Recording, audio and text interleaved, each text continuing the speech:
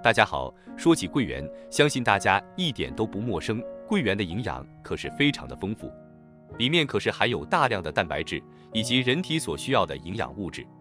平时我们多吃一些桂圆，对人的身体还是特别特别的不错的。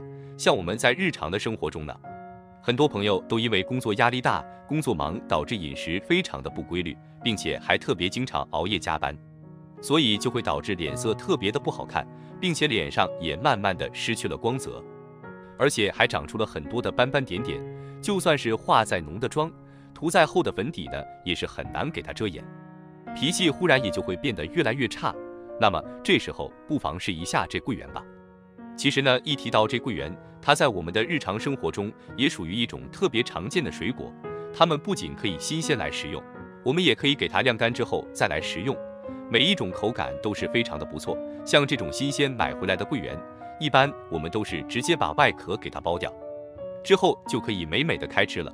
里面的桂圆果肉呢，也是香甜又可口，也是比较细腻的。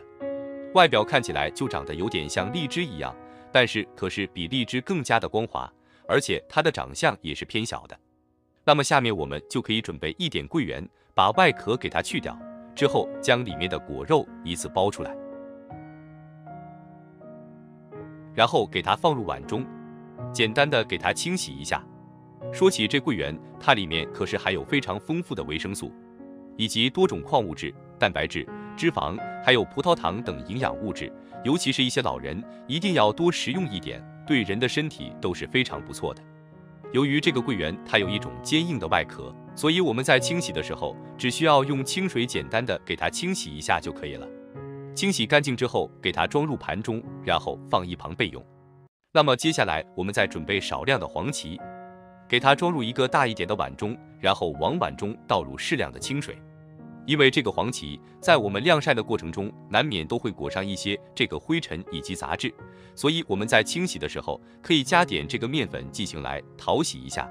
因为面粉具有很强的吸附性，可以把里面的一些杂质或者是虫卵全部给它吸附出来。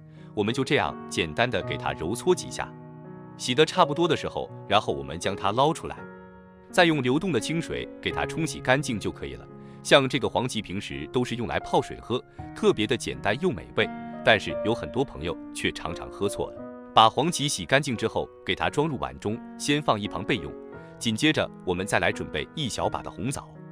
其实说到这红枣了。相信在我们的日常生活中，也属于一种比较常见的食材，食用方式也是非常的多，不管是直接吃还是炖汤喝，或者是做成美食，每一种的口感都是非常非常的不错。由于这个红枣的表面它长得比较不光滑，长得比较独特，有很多这些沟沟缝缝，而这些沟沟缝缝也特别容易藏一些虫卵或者是杂质，所以在清洗红枣的时候，也可以往里面加入少许的食盐或者是小苏打。来给它淘洗一下，这样就可以把红枣清洗的干干净净。洗净以后，再用流动的清水给它冲洗一遍，像这样就可以了。淘洗干净后，放入小碗中。我们再用一把剪刀，直接把红枣给它剪成长长的小块。红枣的食用方式也是多种多样的，而且都是非常的美味甜甜的，并且营养特别的十足，尤其是还有非常丰富的铁元素。像平时也有很多朋友经常在反映。如果这个红枣吃多了，也会特别容易上火。接着，我们把里面的红枣壳给它去掉，这样子家里的老人和小孩子食用起来会更加的方便。像这样就全部处理好了。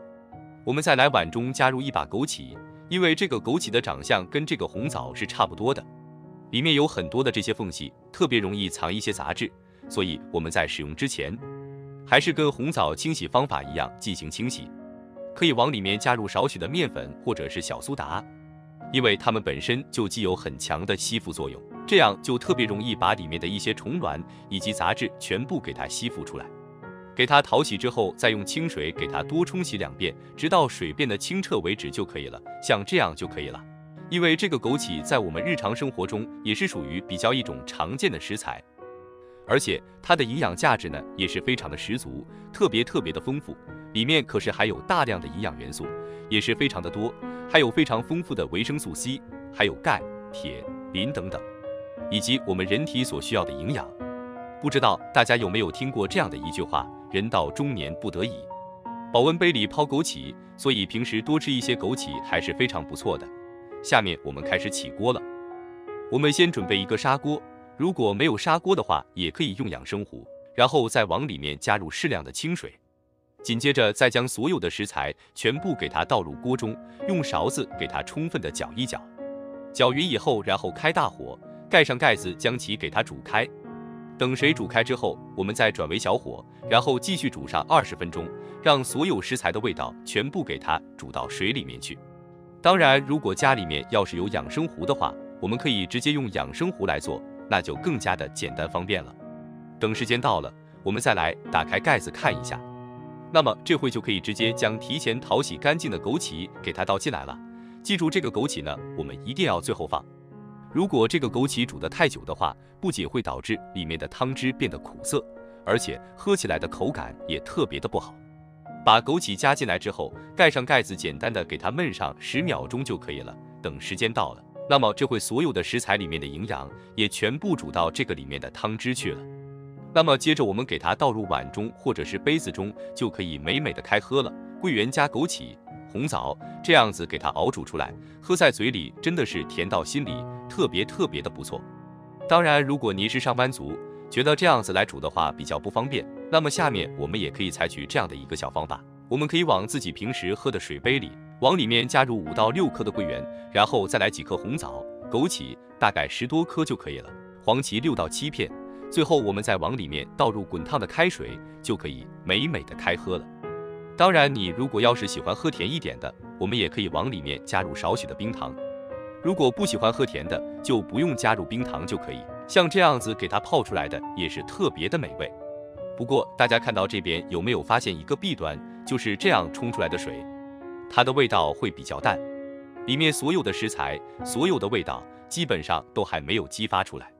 如果泡的时间比较久，那才能尝出它的味道。但是我们用煮的就不一样了，我们可以对比一下里面的这个汤汁，用煮出来的不仅味道清香，但用水泡出来的里面的水特别的清澈，闻一下气味也没有那么的香。当然，如果大家真的是没有时间的，可以选择自己喜欢的方式来进行熬煮就可以了。无论是泡着喝还是煮着喝，其实喝起来的味道都是非常的美味。这道茶不仅好喝。而且颜色搭配起来也是特别的好看又美味。如果你也喜欢的话，那就赶紧收藏起来试一试吧。平时给它喝上几天，就会有意想不到的惊喜和收获哦。今天的视频就分享到这里了。点击我的头像可以看到更多的美食视频和生活技巧。别忘了关注我，谢谢您的支持与关注。感谢大家的收看，我们下期视频再见。